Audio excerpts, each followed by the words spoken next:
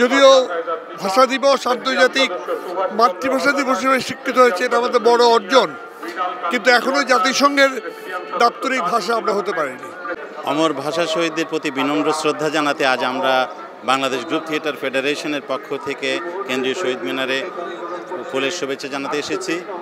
ভাষা শহীদরা বাংলা ভাষাকে প্রতিষ্ঠিত করার জন্য যে আন্দোলন করেছেন এবং জীবন উৎসর্গ করেছেন, তারই ধারিবা- ধারাবাহিকতায় আমাদের মুক্তিযুদ্ধ এবং স্বাধীনতা এসেছে।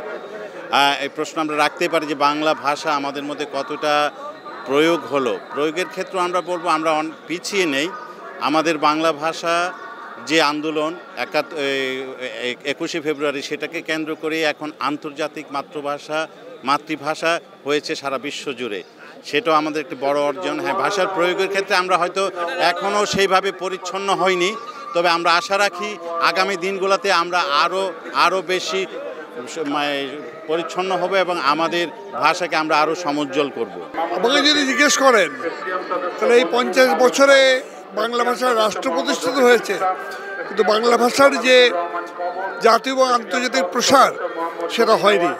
আমরা এখনও যদিও ভাষা দিবস, আন্তর্জাতিক মাতৃভাষা দিবস হিসেবে স্বীকৃত হয়েছে, এটা আমাদের বড় অর্জন। কিন্তু এখনও জাতিসংঘের দাপ্তরিক ভাষা আমরা হতে পারিনি।